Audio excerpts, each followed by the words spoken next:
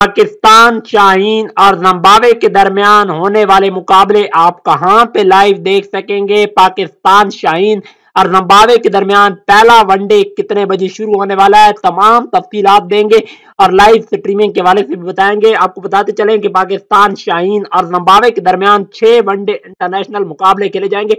पाकिस्तान के बड़े बड़े नामी गिरामी खिलाड़ी शामिल होंगे, जिनमें सैम अयूब, सऊद खान और हुसैन तलत समेत आमिर जमाल, मीर हमजा जैसे इसके अलावा शाहनवाज दहानी जैसे बड़े बड़े स्टार क्रिकेटर इन एक्शन होंगे। पाकिस्तान शाहीन और नंबावे के दरमियान छह वनडे मुकाबले खेले जाएँगे, जिसका पहला मुकाबला आज खेला जाएगा और ये मुकाबला पाकिस्तानी वक्त के मुताबिक दिन बारह बजकर पंद्रह मिनट पे शुरू होगा।